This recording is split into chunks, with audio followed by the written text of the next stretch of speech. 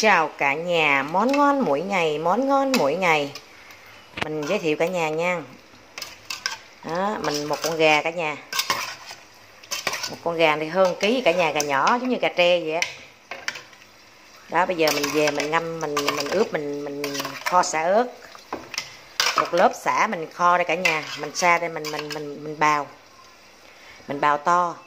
Đó, để mình ướp, nãy giờ là 30 phút rồi nghe cả nhà cứ càng lâu là càng thấm, càng ngon. Bây giờ là mình cho nước mắm nha cả nhà. Cái này là nước mắm chứ không phải nước nước mình mình đổ nước lã đâu nha. Cái này là mình ướp bằng nước mắm nè. Mình rửa gà sạch để cho ráo. Mình ướp xíu mắm, xíu đường, xíu bột ngọt, xíu tiêu, xíu gừng. Ớt băm, xả băm. Đó. Nhưng mà mình mình à, xả là mình bỏ to. Còn đây băm là mình đang băm đây cả nhà. Đây, mình đang băm đây. Đang băm đây để chút nữa mình phi hành đó cả nhà mình phi hành vàng vàng rồi bắt đầu mình bỏ xả vô mình mình mình băm mình băm cho nó nhuyễn này mình bỏ vô hành mình tao mình tao cho nó đâu vào đó là thơm vừa vàng ý ý thích cả nhà.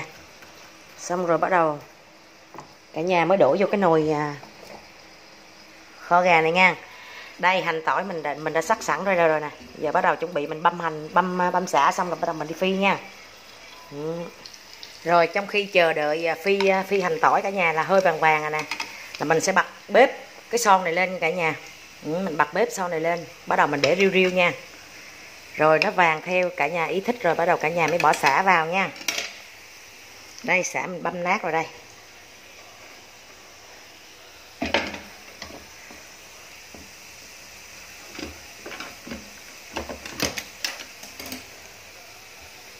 Nó còn sót một chút xíu này nữa nè.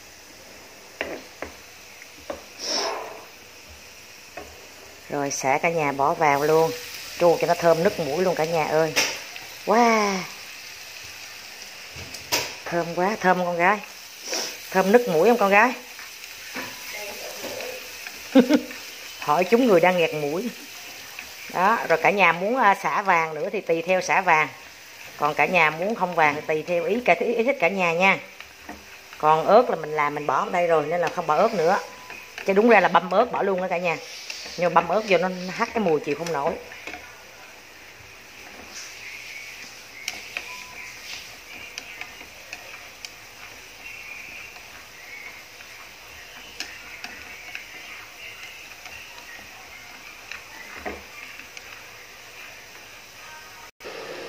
Rồi cả nhà, nó vàng theo ý cả nhà rồi, cả nhà đổ lên trên nha. Đó, đổ lên mặt trên chị đây nè cả nhà.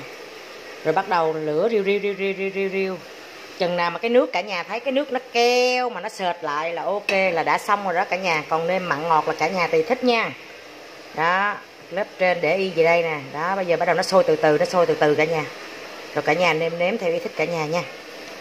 Rồi, mình đã xong nha. Mời cả nhà ăn món ngon mỗi ngày, món ngon mỗi ngày. Ok.